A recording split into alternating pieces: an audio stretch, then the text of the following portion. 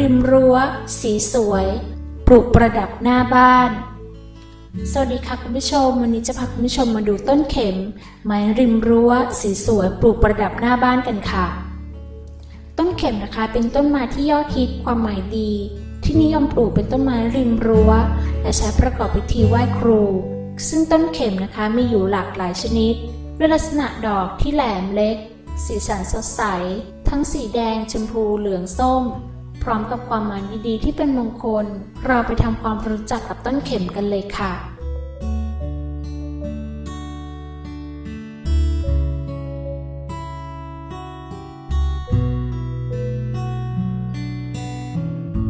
ลักษณะทั่วไปของต้นเข็ม ต้นเข็มเป็นไม้พุ่ม มีขนาดความสูงของต้นประมาณ 3-5 เมตร ลักษณะของกิ่งเป็นกิ่งเดียว แต่ก็แผ่ขยายออก และมักจะแตกกิ่งบนยอดต้น ใบเป็นใบเดี่ยวเช่นกัน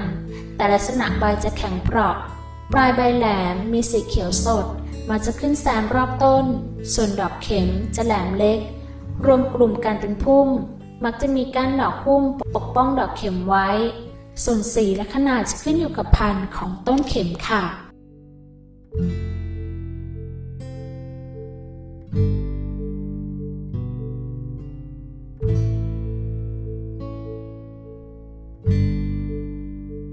มายของต้นเข็ม ดอกเข็มยังจัดว่าเป็นไม้มงคล ตามความเชื่อของโบราณจะถือว่า ดอกเข็มที่แหลมเรียว ก็เปรียบเสมือนปัญญาที่เฉียบแหลม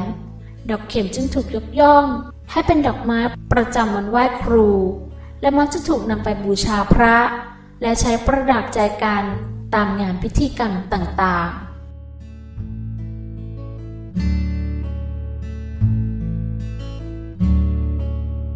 ต้นเข็มมีกี่ชนิด ต้นเข็มมีอยู่ด้วยกันหลายชนิด และจะมีลักษณะแตกต่างกันไปตามสายพันธุ์ จุดเด่นที่เห็นง่ายคือ สีที่แตกต่างกันของดอกเข็ม ส่วนต้นเข็มสายพันธุ์ต่างๆ มีดังนี้ค่ะ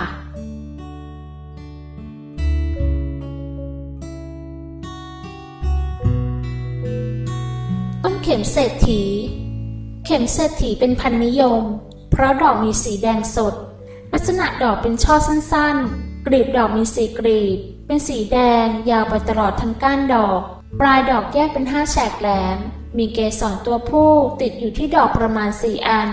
ส่วนลำต้นมีขนาดกลาง สูงระหว่าง 2-4 เมตร ชื่นชอบดินร่วนซุยและแสงแดดค่ะ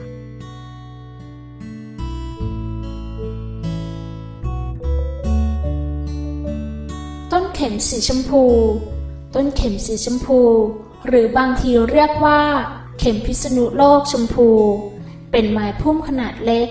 ทรงพุ่ม ดอกอัดแน่นทึบ ดอกสีชมพูหวาน มักจะออกดอกเป็นพุ่มเล็กๆ ต้นเข็มพันนี้ออกดอกตลอดทั้งปี อีกทั้งยังออกดอกค่อนข้างเยอะ ซึ่งเป็นพันเข็มที่นิยมปลูกไม่น้อยเลยทีเดียวค่ะ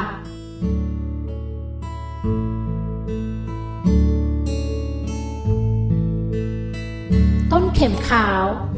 ดอกเข็มพันนี้มีจุดเด่นอยู่ที่ความหอมระมุน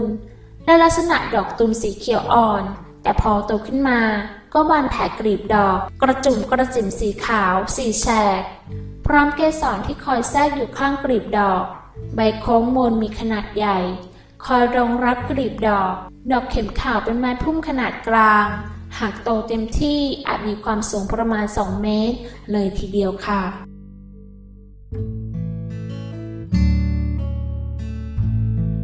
ต้นเข็มแดง ต้นเข็มแดงเป็นไม้พุ่มขนาดเล็กถึงกลาง มีขนาดตั้งแต่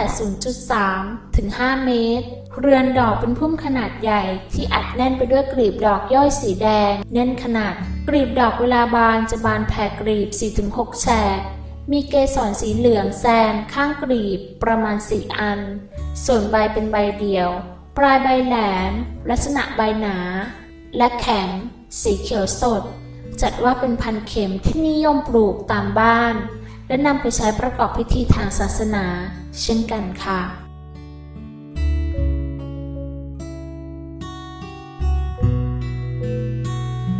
ต้นเข็มชมพูนุช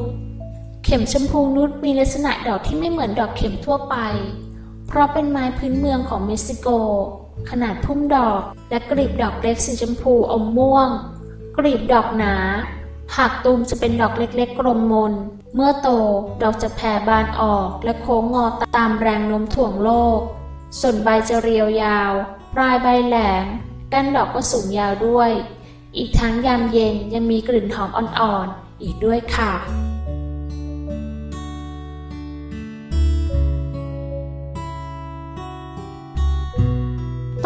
โบ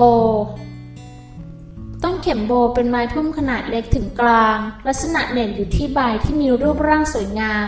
คล้ายโบ ช่อดอกเป็นพุ่มหนาแน่นพอประมาณ ดอกมีลักษณะแหลมสีแดง หากบานจะแผ่ดอกออก 4-6กลีบ ข้างดอกมีเกสรสีเหลือง ขึ้นแซม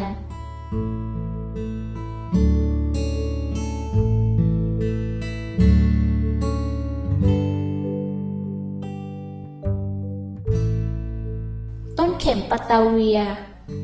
ต้นเข็มปัตตาเวียเป็นพันเข็มที่ออกดอกเป็นช่อกระจุกตามซอกใบ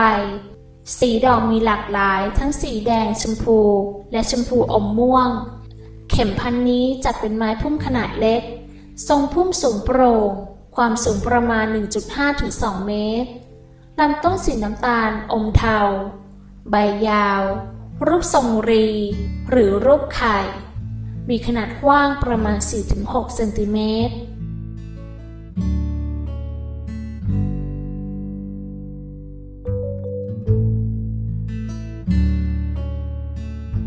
ต้นเข็มอินเดีย ต้นเข็มอินเดียเป็นดอกเข็มสายพันธุ์ใหม่ หรือต้นเข็มอินเดียเป็นไม้พุ่มเตี้ย ใบมีลักษณะคล้ายใบโหระพา มีสีเขียวสด ดอกมีทั้งสีขาว แดง ชมพู ออกดอกเป็นช่อตามยอดต้น แผ่กลีบดอกห้าแฉก มีฐานดอกเชื่อมกัน คนดอกเป็นสีขาว เรื่อยๆมาจนถึงปลายใบเป็นสีม่วง หรืออาจออกดอกสลับสีกันบ้างค่ะ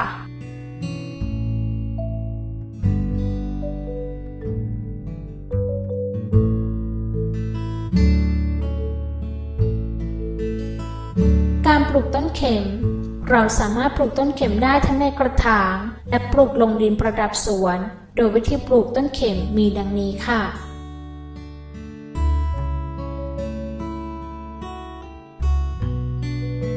การปลูกต้นเข็มในกระถาง ต้นเข็มจะเจริญเติบโตได้ดีในที่ที่มีแสงแดดส่องถึง และหากคุณอยากปลูกต้นเข็มในกระถาง แนะนำให้ใช้กระถางทรงสูงขนาด 8-12 นิ้ว ลูกด้วยดินร่วน ผสมปุ๋ยคอก หรือปุ๋ยหมัก และกระดาษผุในอัตราส่วนเท่า ๆกัน ที่สำคัญเมื่อต้นเข็มเติบโตขึ้น ก็ต้องเปลี่ยนกระถางและเปลี่ยนดิน โดยระยะห่าง การเปลี่ยนกระถางและดิน ไม่ควรเกิน 1 ปี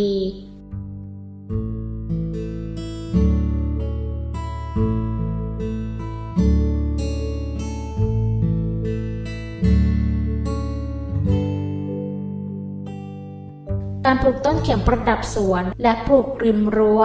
หากต้องการปลูกต้นเข็มลงดิน ควรต้องขุดดินให้ลึกประมาณ 30คูณ30คูณ30เซนติเมตร โดยใช้ดินร่วนผสมปุ๋ยหมักหรือปุ๋ยคอกในอัตราส่วน 1 ต่อ 2 ผสมกับดินปลูก และถ้าคุณต้องการปลูกต้นเข็ม ประดับแนวรั้ว ต้องลงต้นเข็มติดกัน ให้ต้นเข็มโตในลักษณะจับกลุ่มกัน หรือตัดแต่งทรงต้นเข็มตามต้องการ ทั้งนี้ทางโบราณเชื่อว่า การปลูกต้นเข็มเพื่อความเป็นสิริมงคลแก่บ้านและผู้อยู่อาศัย ต้องปลูกต้นเข็มทางทิศตะวันออก และควรปลูกในวันพุธด้วยค่ะ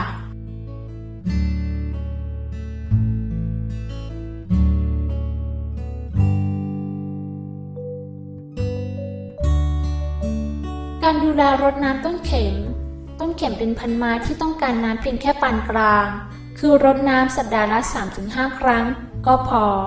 แต่ชอบแดดจัด ดังนั้นควรปลูกกลางแจ้ง เพราะต้นเข็มสามารถทนความแห้งแล้งได้ นอกจากนี้ก็ควรใส่ปุ๋ยคอกหรือปุ๋ยหมัก ในอัตราส่วน 0.5-1 กิโลกรัม ต่อต้น ซึ่งควรใส่ 5-6 ครั้งต่อปีค่ะ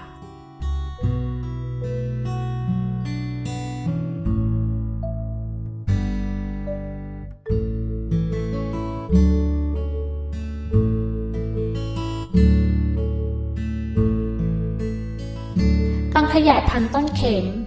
วิธีการขยายพันธุ์ต้นเข็มสามารถทำได้ทั้งปักชำกิ่ง ตอนกิ่ง และการเพาะเมล็ด แต่ส่วนใหญ่จะนิยมขยายพันธุ์ด้วยการปักชำและตอนกิ่งมากกว่า เนื่องจากได้ผลดีกว่านั่นเองค่ะ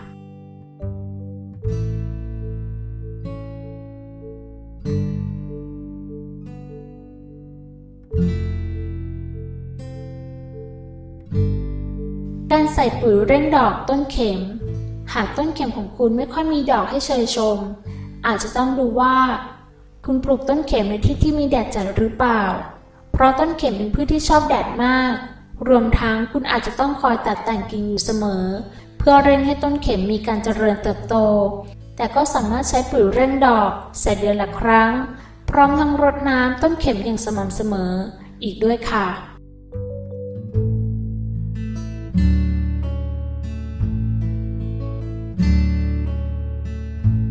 เป็นอย่างไรบ้างคะสำหรับต้นเข็ม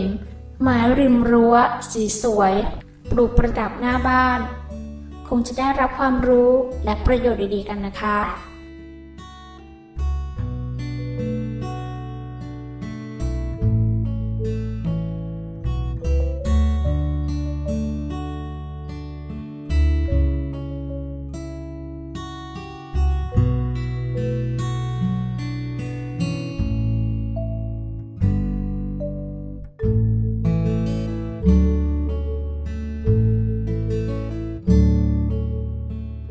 ลืมกดติดตามเพื่อรับชมคลิปใหม่ๆนะคะ คลิปหน้าจะนำเสนอเรื่องอะไรนั้นโปรดติดตามกันค่ะ